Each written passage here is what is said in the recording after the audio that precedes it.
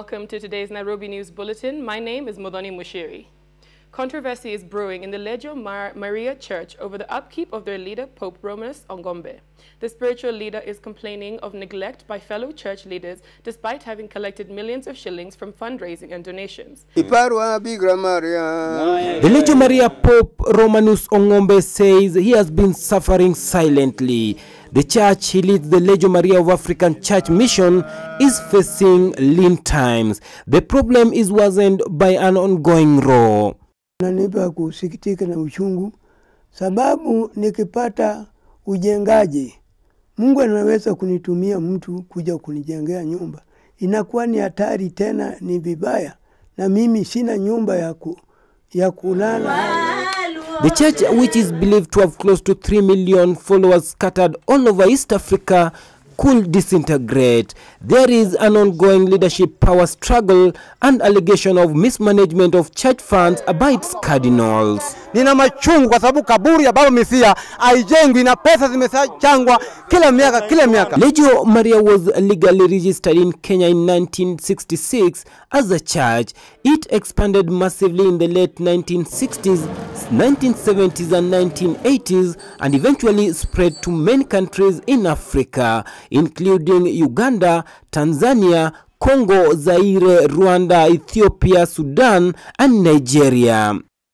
That growth, however, is on a downward curve. Pesa, kuna kanisa ambayo iko na pesa kama Lejo Maria, kwa sababu watu wanakujaga na mapesa kila time, wanakuja na mapesa hapa, wamtengenezee papa nini, hata chakula yenyewe papa saa zingine analala tu njaa, achakuna chakula vizuri, hakuna. Hata ukiangalia Barangeti unaona chafu chafu ni nini. Hata ingekuwa papa mzu, eh, hapa papa za, zao vizuri, sianga hata ceiling board. Na hata ukiangalia hata nyumba juu ya nyumba hii, siyo nyumba ambayo papa mzima anaweza kaa. Just a few weeks ago at the church headquarters situated on a hilltop in Migori Godkweru village was turned into a battleground when supporters of Pope Romanus Songombe demanded to know the whereabouts of millions of church money. Church cardinals had to run for their lives as rowdy believers and locals turned against them. Papa yetu akai hata padia Katholika ameshinda yeye, ameshinda ya kukaa kwa sababu wale viongozi wako hapa. Kuna wengine nasikia vizuri sana. Kuna mmoja niliona na gari kubwa, na ile gari ni kama wabunge ndio nakimbia nayo. Nilisangaa hii pesa ametoa wapi? At the heart of the quarrel is the reality of Ongombe's papa's life. He lives inside this cracked, muddy, dusty house at the church headquarter in god Godkweru. He says the church has millions of money which he should handle and support the needy. He accuses his cardinals of pocketing church funds for their own benefits. Sina lolote ya kusaidia maskini ambao wanakaa kwangu, vilema na watu wote wanakuwa kama sina uwezo wa kutengeneza kila chochote. These are his official suitcases where all the church documents are safe. Hizi ndio masanduku ya papa, unaona hizi hizi ni, ni, ya zamani, ni mtu tu alimnunia. E, sasa mimi nitahitaji katika serikali ije ku, ku, kunisaidia ku, ku, kuona hayo yote inayoharibika. Ten high school students have been arrested after they were found drinking alcohol and chewing miraa in Nyeri town. Some of them were in their school uniform and were found staggering in town last evening.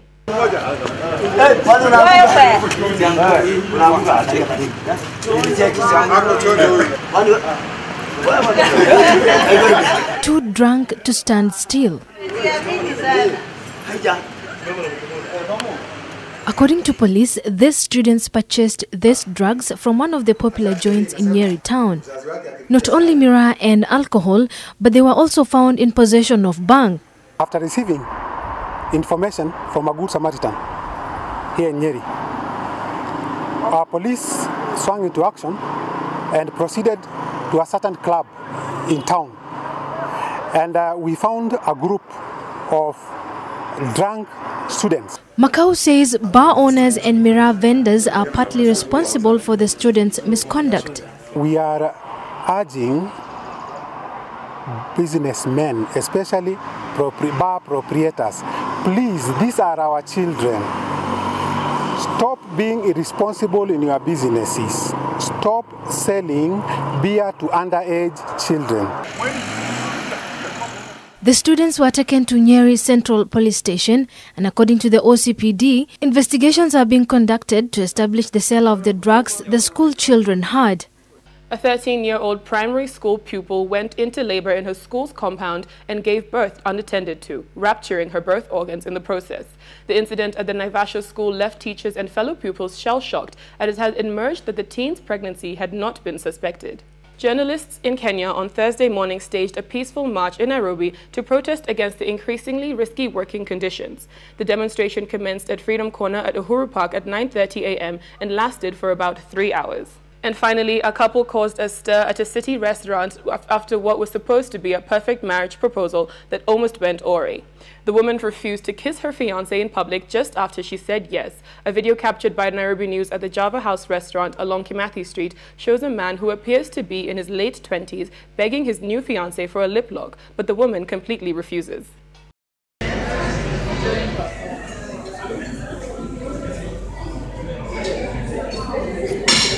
Mi nakwambia niko at the as news happens niko up there is a guy proposing.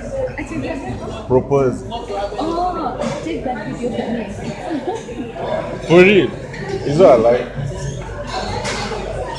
It's not it worked.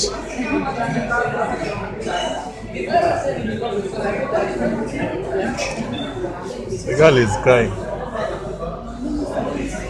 i'm not even emotional about it And that's it for us for now. For these and more stories, log on to www.nairobinews.co.ke. I'm Mudhoni Mushiri. Goodbye.